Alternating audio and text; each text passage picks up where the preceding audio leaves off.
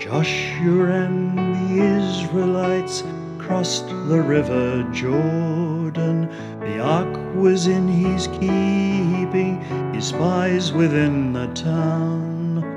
Rahab, she protected them, hid them on the roof. King's men were out there searching, searching for some proof. And the walls came down all the way they fell. Yes, we saw them when they stood, but the trumpet blast they fell.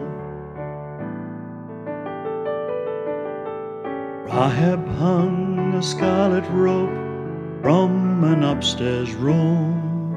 Her children hid inside the roof, feared they'd met their doom.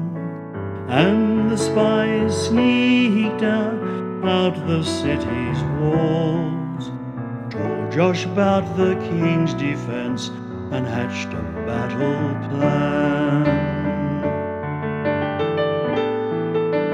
And the walls came down all the way they fell. Yes, we saw them when they stood, but the trumpet blast they fell.